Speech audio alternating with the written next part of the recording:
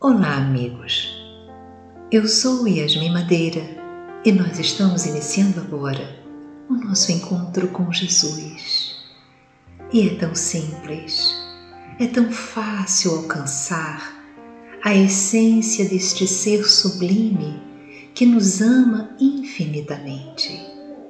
Porque Jesus, como gestor da evolução na Terra, ele está em contato direto com cada um daqueles que Deus colocou sob a sua égide para a segura orientação no desenvolvimento espiritual, no desenvolvimento do ser. Como espírito puro, Jesus consegue nos trazer a sua atenção pessoal, orientando-nos, vivendo com sua energia divina as nossas vidas também. Jesus está aí, em você, em sua mente, em seu coração.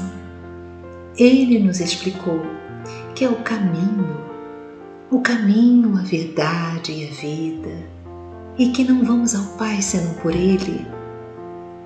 Ele e o Pai são um. Neste momento, inspire fundo Relaxe o seu corpo ao expirar e perceba-se no lago de Genizaré. Ouça o marulhar das ondas no seu infindável ir e vir. Sinta os seus pés descalços sobre as areias macias. Sinta o aroma da maresia no ar. Neste momento, você observa o brilho do sol sobre você e uma energia que envolve todo o espaço. Começa nesse brilho solar a surgir uma silhueta que vai tomando forma e agora está à sua frente. É Jesus que levanta as suas mãos de luz abençoando você.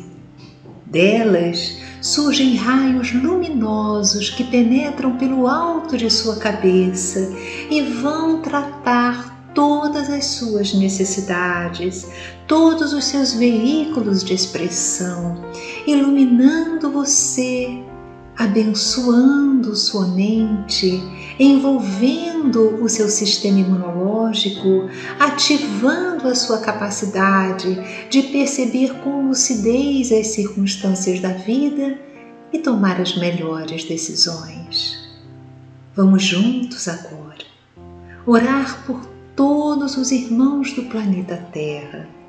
Vamos pedir a Deus, nesta hora sagrada, Deus, a fonte geradora da vida, a inteligência suprema, a causa inicial de tudo, que abençoe toda a família humana, igualmente cada ser que aqui na Terra realiza o seu processo evolutivo que os que estejam doentes, sentindo dores físicas ou morais, os que não têm como colocar o pão à mesa, os que estejam se sentindo angustiados e sozinhos, neste momento recebam essa luz divina, recebam os raios deste sol vivificante, lhes iluminando a alma, lhes abençoando a existência.